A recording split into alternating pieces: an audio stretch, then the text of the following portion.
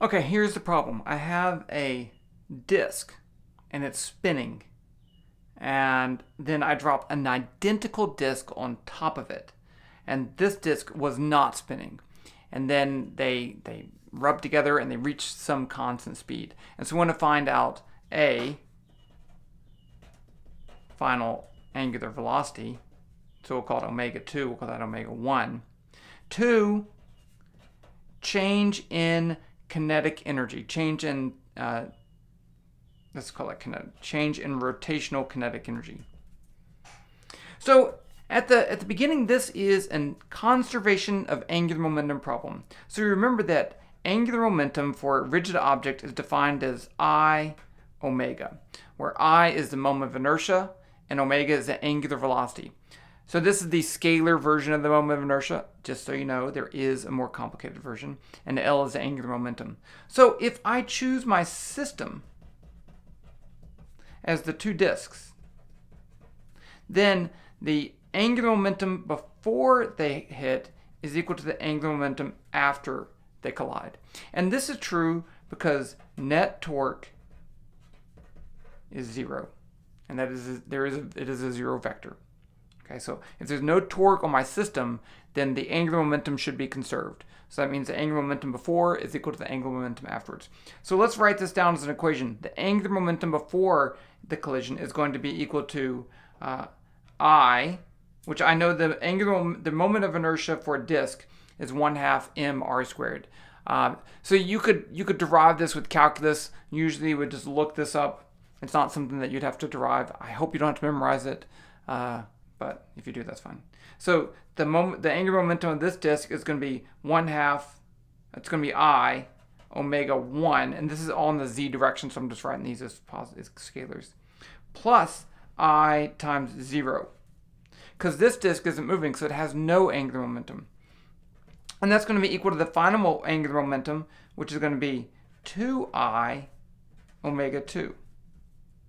So you see here that they both have the same angular velocity at the end. So they're going to have the uh, their angular momentums will add together, but they'll have a new velocity, angular velocity. So right now we you can already see this is an easy problem because if but we're going to make it all the way.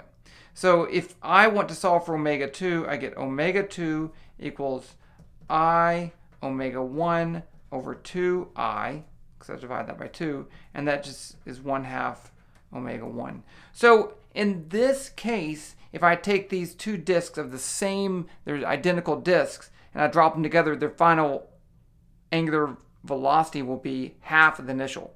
This is just like taking two train cars and hitting a train car into a stationary car, and they, they're the same mass, momentum's conserved, they have half the initial velocity. Okay, but if these were different disks, that would not be true. You could get a ratio of, of angular momentums. So I'm gonna I'm gonna put this in here. Uh, if I said the initial angular velocity is 120 RPM, uh, then this would be omega 2 would be half that, so 60 RPM. And that's radians per minute. And I'm going to convert that into radians per second. Because now we want to look at the change in kinetic energy. This is a little bit more important. So if I have a rotating object, in this case it's a disk, then the rotational kinetic energy is 1 half I omega squared. You can't see that. Okay. So you can think of this as um, a whole bunch of masses in here and they all have in, they all have just normal translational kinetic energy and you can get this equation out of it. Uh, I'll have to maybe do that derivation sometime or at least show you um, with a few masses to show you they get the same thing. Actually, that wouldn't be a bad idea. Uh, but, but for now, we'll just say that's true. So the change in rotational kinetic energy is going to be 1 half I omega 2 squared minus 1 half I omega 1 squared. Now, in order to get this in joules, then omega has to be in radians per second. So let's, let's go ahead and convert because why not? So omega 1 is 120 revolutions per minute. Now the key to unit conversion is to multiply by the factor 1. So if I multiply this by, if I want to get rid of revolutions, I can say 2 pi radians is 1 revolution. If I go around a circle one time, that's 2 pi radians. It's also one revolution. So this is the unit, the quantity 1. So I can multiply it by this and it doesn't really do anything. And that's, that's fine. Um, so now the revolutions cancel and I get 2 pi radians per minute.